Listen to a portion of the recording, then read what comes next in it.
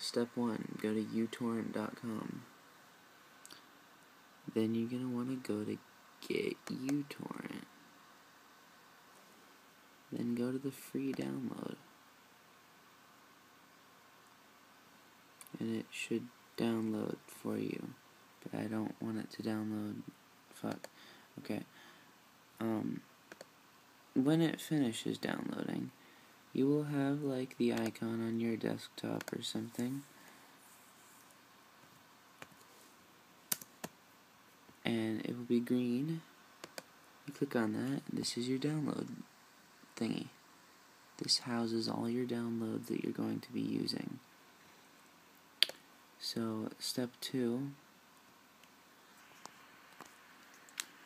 My favorite site to use is the piratebay.se.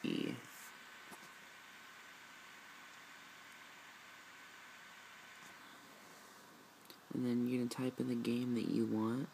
You wanted The Sims, but I already have something else loaded. Um, and you just type in the name of the game and enter. Hopefully it'll search. Right. Make sure it says games PC. If it says games Mac, you're going to be in trouble. So, pick one of the games. Make sure on the side it has like a high number. 21's okay too. It's lower. Just make sure it has more than like one or two. And then click one of them. You're going to click the magnet link or if there's like a torrent file color link.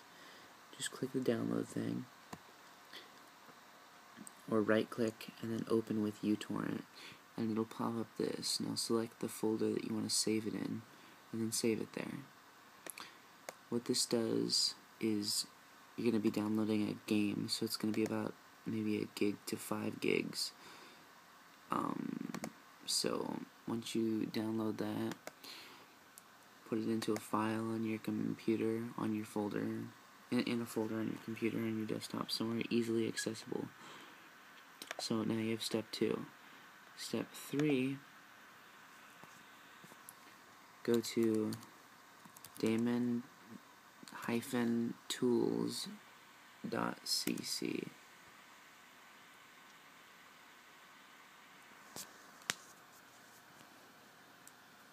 And for this, you're going to want to scroll down, go to Daemon Tools Lite click that, it's the same exact package.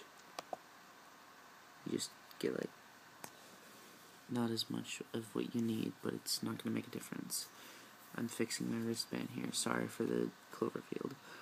Okay, download that. Then, when your torrent from uTorrent is done downloading, let it sit for a while after it's done downloading. That's called seeding. You want to give back to the community. That gives your data back, but does not take away from you. Okay. After you've downloaded the Daemon tools, you're going to want to go ahead and open that up.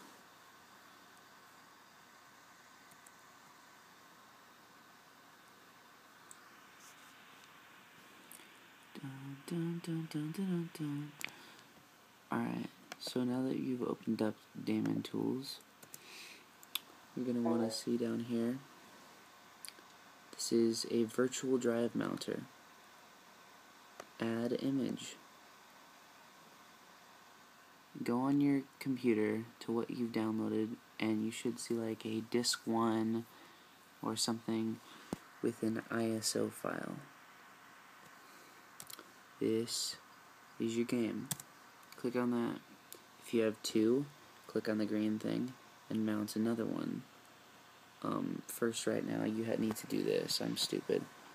Need to add DT virtual drive.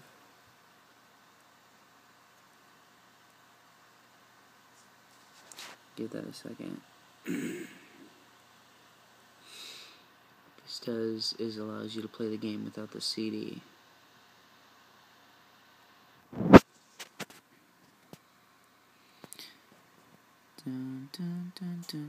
After you've made the changes and possibly rebooted your computer, you should have two devices down here. Or one, whatever. Use the first one.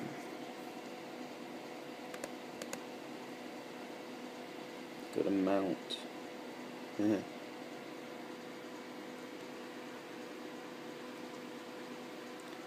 select the game. This is probably going to be the game. It's going to look like disc 1. I was going to say if you highlight it, go to properties, it'll say .iso. An ISO file. That's a disk image file. That is your CD game. And mount that and then an automatic auto run thing should pop up.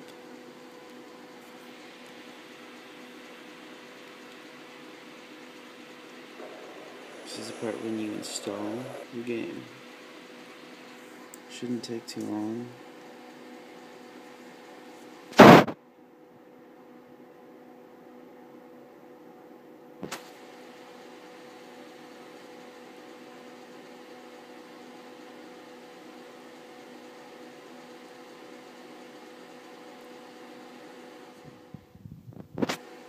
After a bit, it should load your game right up.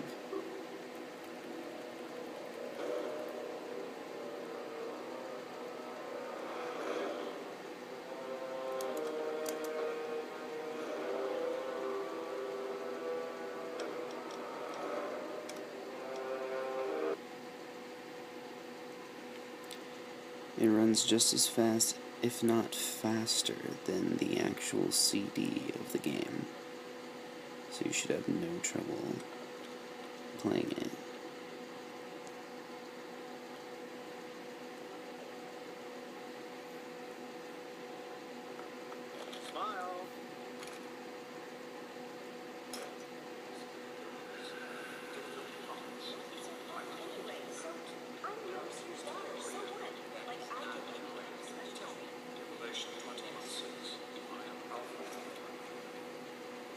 Well, Natalie, that wraps up my little tutorial. I hope it helped.